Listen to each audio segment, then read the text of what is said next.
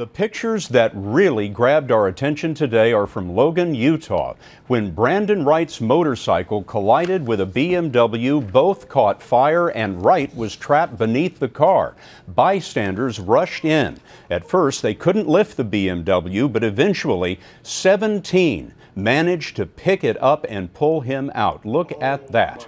We called the hospital this evening and they told us Wright, who is 21, suffered broken bones and burns, but he's awake and he thanked his rescuers.